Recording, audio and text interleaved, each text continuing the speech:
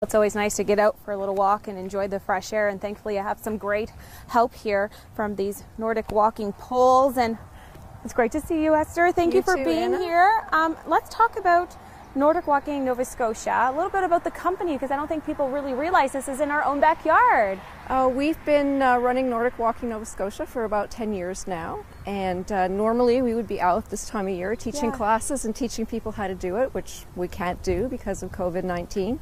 But uh, still uh, seeing a lot of people out walking with poles because getting outside and walking is one thing that we can still do and is good for everybody.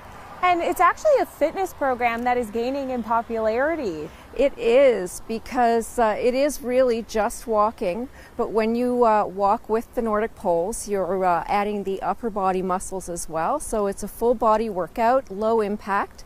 It's like getting your cardio and your resistance training all in one workout for about a half an hour, four to five times a week. Wow, okay, and these poles actually adjust to your height. They do. They uh, they all adjust. So uh, you just twist them to open them, and twist them that way to tighten them up. And anybody from uh, my little grandson when he was nine um, to now he's 16 and he's up here can use the same set of poles. And anybody, any age, so that's fantastic. Absolutely, absolutely. And so your company was actually recognized for entrepreneurship over 50 years old, which is really nice. It is. It's very exciting. Um, it was uh, supposed to be a part-time retirement uh, thing for my husband and uh, me on the weekends, but it's grown so much that it's pretty much a full-time job for both of us. And uh, I retired from my pesky day job three years ago, so I could focus on this. oh my gosh, and you're obviously enjoying it. I love it. I am not. I know I need to get out and exercise. Yeah. Um, I know I am not a gym person. I am never going to be a runner, but I like to walk. So this is absolutely perfect. And because it is just walking, anybody can do it. Do you see we're connected though? Yes, this is what makes a Nordic walking pole a Nordic walking pole as opposed to a hiking or a trekking pole is the fact that it has a strap and the strap has a thumb hole so the pole is always in position.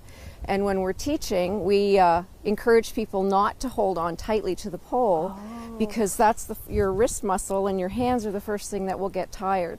You just kind of keep your fingers around it to guide it, keep it stable if it's windy so it doesn't whack your socially distanced neighbor. Um, but uh, it's the strap that takes the resistance when you push down. So you're not putting any pressure on your hands or your thumb.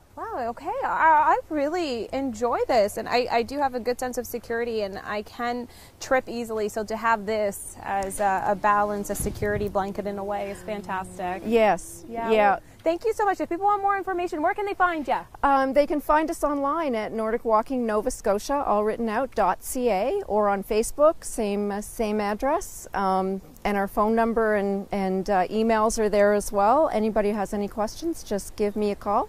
I'm Okay. happy to uh, talk more about it. Oh my goodness. Well, shall we go for a walk? Let's go for Let's a walk. Let's do it. All right.